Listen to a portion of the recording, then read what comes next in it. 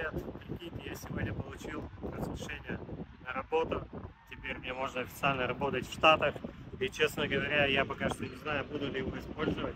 Потому что раньше, всегда до этого, я себя считал таким недоамериканцем, недо, недосотрудником, потому что не мог официально устроиться на работу.